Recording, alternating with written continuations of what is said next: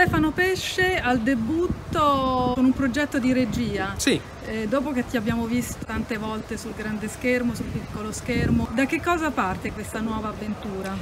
Ah, diciamo che parte dalla necessità a 50 anni di eh, iniziare a, a, vedere la realtà eh, da, dall'altra parte. Ecco. Eh, mi sono messo a studiare eh, regia, mi sono messo a studiare scrittura e quindi ho prodotto un primissimo cortometraggio che eh, spero di riuscire a realizzare con eh, un cast tecnico di questi luoghi, cioè Veneto, che mi sostenga nel, nel, nel filmare eh, una città che secondo me è poco raccontata, Treviso, di cui mi sono innamorato tanti anni fa, in cui ho fatto addirittura una società eh, di produzioni. Con questa piccola società di produzioni mi avvio a iniziare, diciamo così, la, la, la strada di, di un regista più che di un autore.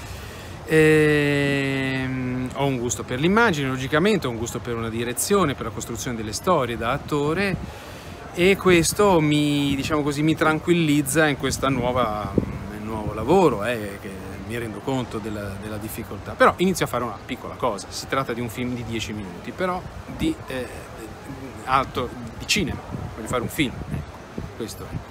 Dal punto di vista attorale in questo momento continuo la mia carriera, il 31 ottobre esce il film di Siani, quale io faccio un cattivaccio ma siamo quasi Jolly Joker, è, è proprio un, un racconto eh, surreale, un bambino che fa volare le macchine, insomma Siani, Alessandro mi ha chiamato lo, conosco da tanti anni, ha detto ma vieni a fare questa, questo personaggio, sono, mi sono molto divertito. Rai 1 invece presenta i ragazzi dello Zecchino d'Oro, ambientato a Bologna, io sono bolognese e faccio un genitore di questi ragazzi dello Zecchino d'Oro. Mi appresto a girare quattro film eh, per eh, Mediaset, Il silenzio dell'acqua 2, dove faccio un uomo che ritorna e che scombina gli equilibri e in eh, ottobre devo girare un film con Donatella Finocchiaro per la regia di Andrea Muzzi, scritto un film con Ugo Chiti. Questo diciamo così è quello che le grosse cose che, che, che mi aspettano prossimamente.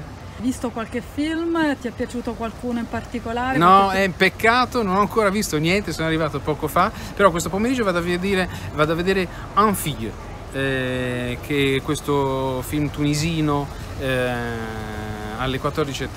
Infatti adesso devo andare a cambiare i biglietti elettronici con quelli di